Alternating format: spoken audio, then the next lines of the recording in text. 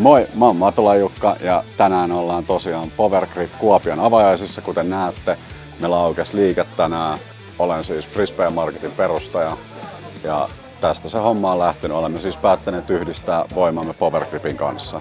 Me ollaan tosiaan tällä hetkellä Kiekkotie neljässä Kuopiossa, ollaan Puijon laaksossa. Tää on hyvin lähellä keskustaa, ei tosta ole varmaan kuin kaksi kolme kilsaa keskustaa ja meille on erittäin helppo tulla aina kun tuutte tänne vaikka Puijalle pelaamaan muualta päin Suomesta, niin ollaan enemmän kuin lähellä 10 minuuttia autolta Puijalle. Partasen Tuukka Kuopiosta, terve. Ja tota, aloittelin tuossa vuoden alussa täällä Frisbee Marketilla hommat ja nyt kun tota, nämä kaupat sitten yhdistyi, niin ollaan sitten täällä Kuopion, Kuopion myymälässä töissä ja jos on jotakin kysyttävää ja tarvitsette täällä kaupassa apua tai mitä muuta ikinä, niin ei kun vaan nykäistä rohkeasti hihasta, niin mä tuun kyllä auttamaan. Juho tässä morjesta. Olen vuoden verran nyt ollut Frisbee Marketilla kautta nyt sitten Power Gripillä töissä.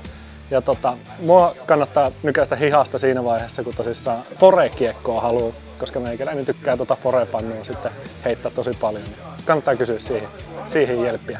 Morjesta vaan, on Nuutisen Timo Glassdiskiltä ja tulin tänne Kuopion Power Gripin avajaisiin katsomaan. Täällä onkin hyvä pöhinä ja porukkaa oli tuossa pitkä rivi ennen kuin ovet avattiin ja mukava olla täällä kiekkoliikkeen avajaisissa, että nämä on aina hauskoja tapahtumia ja, ja oikeastaan aktivoi vähän tätä heittokautta, että saadaan tänne tota Keski-Suomeenkin niin isompaa myymälää. Niin. Tervetuloa meille Power Grip Kuopioon. Meiltä löytyy ihan mielettömän paljon kaikkea. Aukioloajat löytyy tosiaan powergrip.fi netistä ja jatkossa varmaan kesän jäljestä myös meidän saldotkin löytyy sieltä. Tällä hetkellä me toimitaan vielä Frisbee Marketin alla eli frisbeemarket.com, mistä löytyy kaikki tuotteet, mitä meillä hyllyssä käytännössä on.